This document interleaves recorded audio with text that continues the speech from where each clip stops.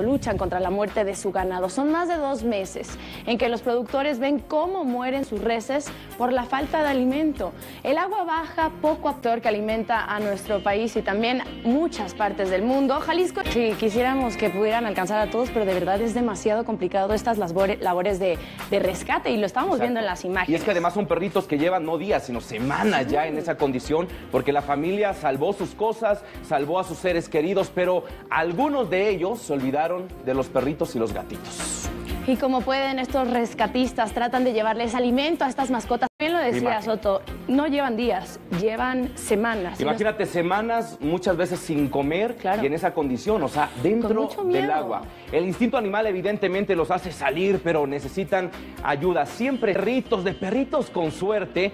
Quizás se recuerde de este perrito que aquí le mostramos, si no, se lo voy a poner en su pantalla. Se trata de un amigo de cuatro patas que estaba ahí. No, pero bueno, estos ya fueron adoptados por la Marina, ya fueron atendidos por veterinarios de esta institución y próximamente este par de, de caninos serán entrenados para ayudar a la institución en sus distintas labores de rescate y quizás algún día ellos van a salvar también una vida. ¿Se acuerdan de la famosa Frida? Posiblemente estos dos, Donatello, sea uno de estos famosos perros que intervengan en estas labores de rescate. Muchísimas gracias por continuar con los hechos aquí entre nos. Ya se los adelantábamos. Vamos a poner este tema sobre la mesa, la defensa personal. Justicia por propia manos cada vez son imágenes más frecuentes en un México donde las ratas andan sueltas. Y bueno, en otro caso, eh, a este asaltante le fue mucho peor. El primero pues no lo piensa dos veces, utiliza su vehículo y lo atropella. El segundo utiliza un arma, pero son dos casos que nos ponen precisamente un tema sobre la mesa, Juanma. ¿Por qué? Porque pasan precisamente de ser víctimas a posibles victimarios. ¿Qué ocurre legalmente? ¿Qué es lo que dice la ley? ¿Qué es lo que dice la Constitución? Lo platicamos con los expertos abogados.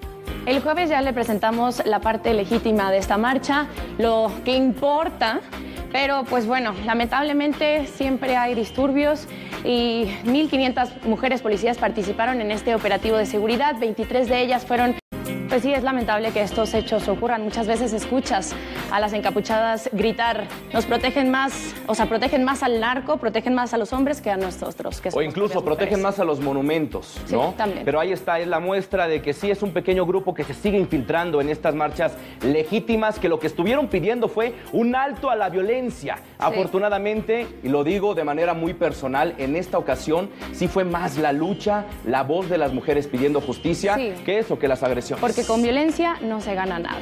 Ahora es tiempo de una pausa. Al volver, una chica sorprendió al mundo del modelaje, tener una capacidad Hoy estrenamos sección, se llama Historias que Inspiran y hoy le vamos a presentar como una pequeña joven, modelo, con síndrome de Down. Motiva a quienes la siguen en las redes sociales. Ella es de Puerto Rico y esta es su historia. en esta sección de eso se trata, de dar a conocer esas personas que hacen de este mundo un mejor lugar. Juan Mayoto, vamos con ustedes.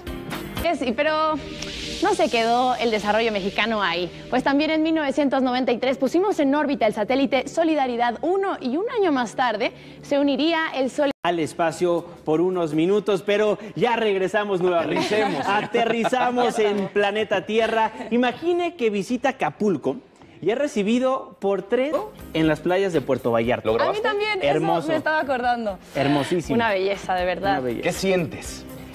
Es que son enormes. Exacto. Y uno los ve en la televisión, ahorita vio las imágenes y los vemos de un taminito chiquito. Ya cuando estás frente al animal, es una cosa enorme. Te das cuenta de la inmensidad de este animal. Sin duda. Y son parte de este mundo que estamos habitando, pero todo ocurre en China, ¿están de acuerdo? Sí. Todo ocurre en China. También los encuentros animales, por eso vámonos ahora a China.